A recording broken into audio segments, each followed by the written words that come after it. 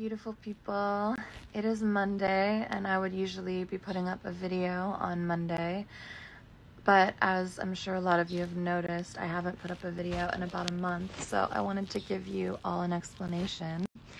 This, of course, started because Valentine was in the hospital uh, for a while, and that was extremely stressful. And we're still in the middle of that journey, really. We're waiting for a surgery that he needs. And um, I definitely needed that, that mental health break and that space to really take care of myself and my babe at that time. So thank you for giving me that time and that space. And in the midst of all that, I found this house in this neighborhood that I've wanted to live in for a really long time. I never flip the camera around and show you where I am, but I've been doing all of God is Grey videos from my little one bedroom apartment.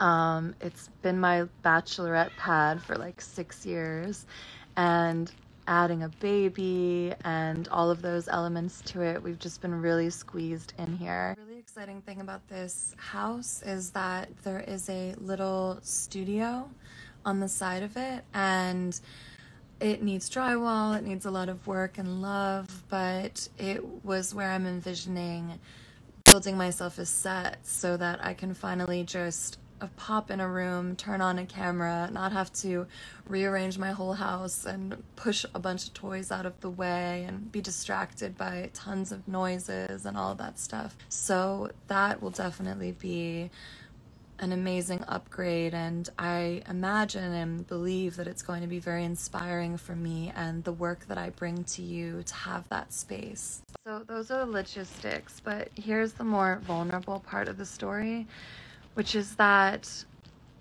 when I started God is Grey and I knew that I was going to eventually let you all know that I had an abortion, that I had that procedure, it felt like all of the work and everything that I was saying and learning was culminating to that moment. And now that that moment has happened, it really felt like a button to everything that I had wanted to say and everything that I had processed.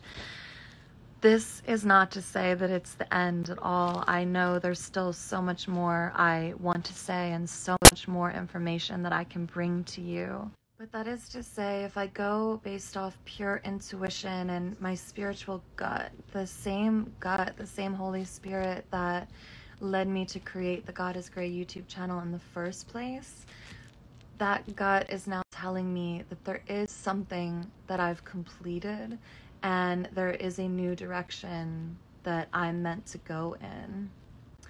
I really cannot stress enough that this has nothing to do with jumping ship or leaving anyone high or dry, but I am letting you know basically an explanation for taking more space and more time because I really want to figure this out. I really want to figure out what the next season of God is Grey is. And I don't mean that the way Christians say it, like the season of life, but like a season, like a TV show. Like, what is next? Gone through moments of fear where the notion of not posting every week has made me afraid to lose my God is Grey community. And you've really all shown me that that's not true, that you're all still with me. And I appreciate that so deeply. And I definitely feel responsibility and not only responsibility, but a true desire to keep delivering on the messages that I have been and keep offering any sort of wisdom or insight that I possibly can. And this is a hard part of it because the insight and the wisdom I'm offering at this moment is that everyone needs to honor themselves and take a pause and recalibrate when you really know in your gut that it's time to pivot or make a change. I don't know if it's drastic or minimal. Maybe I simply build this studio and we go back to Monday videos or maybe it's something completely different and hopefully something that we're all going to love and appreciate and have fun with together.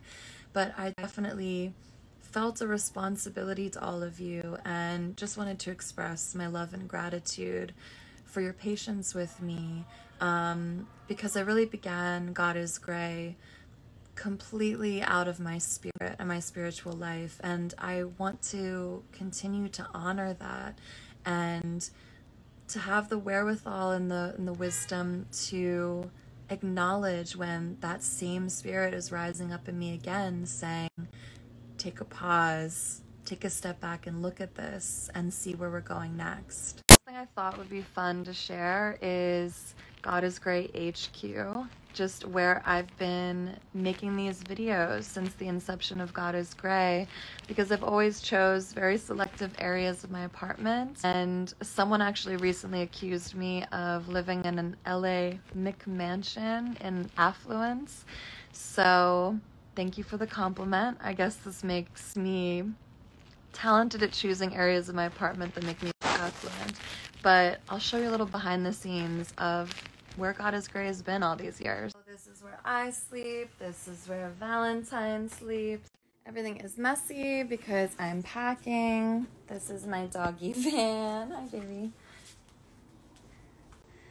This is my changing station for Valentine. Bathroom in there, not exciting. A beautiful nude of Jane Fonda. A mirrored wall for the appearance of things being bigger and more light. Um, this is the chair I usually sit in when I'm filming for God is Grey. This is Valentine's play area.